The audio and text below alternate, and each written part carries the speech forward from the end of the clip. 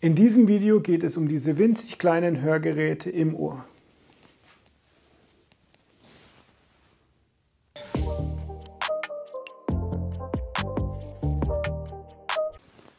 Mein Name ist Maximilian Bauer von Neues Hören in München und in diesem Video werde ich Ihnen acht Fragen zu kleinen Hörgeräten im Ohr beantworten.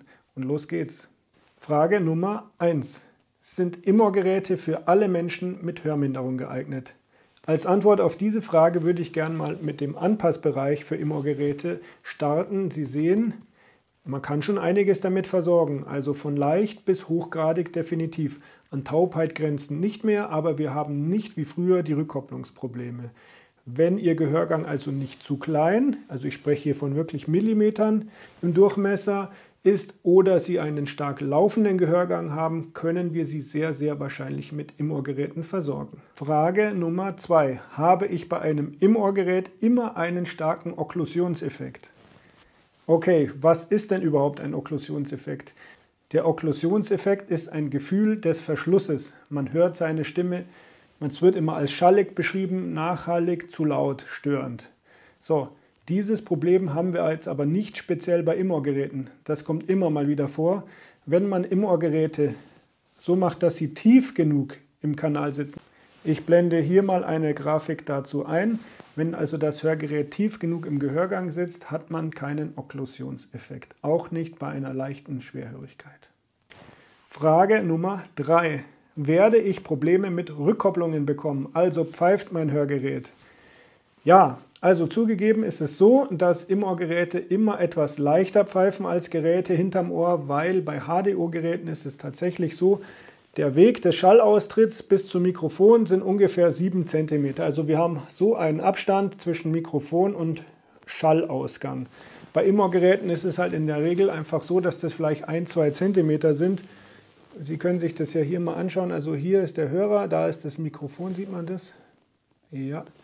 Ähm, da ist halt die Wellenlänge einfach eine andere und es kommt leichter zu Rückkopplungen. Aber die gute Nachricht, seit ähm, die digitale Feedback-Cancelung, also die Unterdrückung des Pfeifens, so gut geworden ist wie jetzt, ist es tatsächlich so, dass wir eigentlich fast keine Probleme mehr haben. In dem Moment, wo die Schale richtig sitzt, das Hörgerät richtig eingestellt ist, sollten Sie da wirklich keine Probleme haben. Frage Nummer 4. Sind Im-Ohr-Geräte teurer als hinter dem Ohrgeräte? Ja, meistens ist es so, dass die ein wenig teurer sind, aber wenn Sie die Hinterohrgeräte plus die Otoplastik rechnen, kommen Sie meistens auf den gleichen Preis. Für so ein kleines Mini-Im-Ohr-Gerät zahlen Sie in der Regel nur wenige hundert Euro selbst, wenn Sie gesetzlich krankenversichert sind und eine gültige ohrenärztliche Verordnung besitzen. Frage Nummer 5. Wie sieht es mit der Reparaturanfälligkeit aus? Ja, und weil ich mich jetzt da nicht auf mein Bauchgefühl verlassen wollte, habe ich tatsächlich mal bei Starkey, dem größten Im-Ohr-Gerätehersteller der Welt, angerufen, äh, in Klammern, ich glaube, dass es der größte ist, ähm, und gefragt, wie schaut es damit aus? Und nach einer Woche hatte ich die Antwort und tatsächlich ist es leider so, Im-Ohr-Geräte werden doppelt so häufig repariert wie Geräte hinter dem Ohr.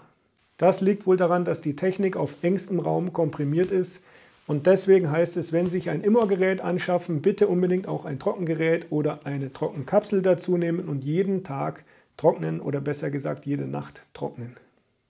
Frage Nummer 6. Wie sieht es mit der Konnektivität aus? Mit Konnektivität meine ich jetzt nicht nur das Anschließen an eine App, also die Regelung der Lautstärke, verschiedene Hörprogramme, sondern auch das Streaming.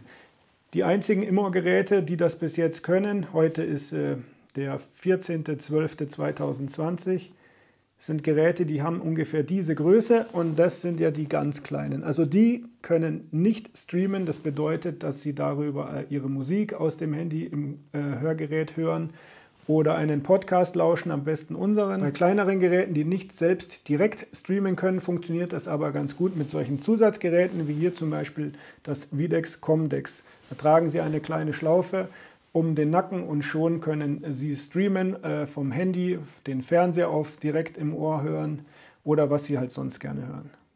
Frage Nummer 7. Welche akustischen Vorteile bringt mir ein Im-Ohr-Gerät? Und das ist wohl die beste Frage und der größte Vorteil eines Im-Ohr-Gerätes und zwar Also ich habe hier noch mal ein kleines Gerät für Sie. Hier vorne an der Außenseite des Hörgeräts ist das Mikrofon angebracht, was den Schall aufnimmt. So, und wie Sie sehen, ist die Schallaufnahme genau im Gehörgang, wenn ich es mir dann so einsetze.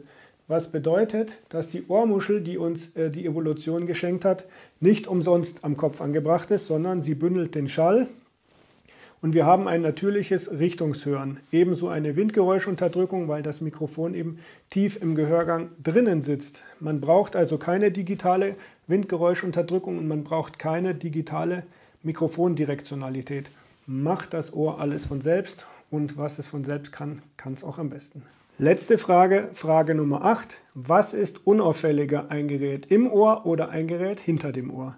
Ich blende Ihnen jetzt mal eins hinter dem Ohr, ein wunderschönes, und eins im Ohr ein. Und jetzt können Sie selber entscheiden, was Sie schöner finden. Ich hoffe, mein Video hat Ihnen gefallen. Wenn ja, dann schenken Sie mir doch ein kleines Herzchen da unten oder ein Like auf dieser Seite. Abonnieren Sie meinen Kanal, wenn Sie gern noch mehr Videos über Hörgeräte sehen möchten und vergessen Sie nicht, das kleine Glöckchen daneben zu drücken. Wenn Sie Fragen zu dem Video haben, dann äh, schreiben Sie mir entweder in die Kommentare oder an maxbauer.neueshören.com. Bis zum nächsten Mal. Auf Wiedersehen. Ciao. Ciao. Halt, noch nicht wegschalten. Kurze Info zum Schluss. Wenn Sie sich für das Thema Hörgeräte generell interessieren, berate ich Sie natürlich hier gerne bei uns im Fachgeschäft Firma Neues Hören in München Fürstenried West. Die Adresse blende ich jetzt hier ein. Wenn Sie nicht zu uns kommen können, weil Sie zu weit weg wohnen, habe ich ein Partnernetzwerk für Sie erschaffen. Die Adresse blende ich jetzt hier ein. Da sind die Top-Akustiker Deutschlands aufgelistet.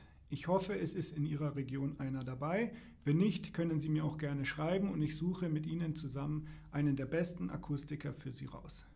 Ich hoffe, meine Videos gefallen Ihnen und wir sehen uns beim nächsten Mal. Bis dann, ciao, ciao.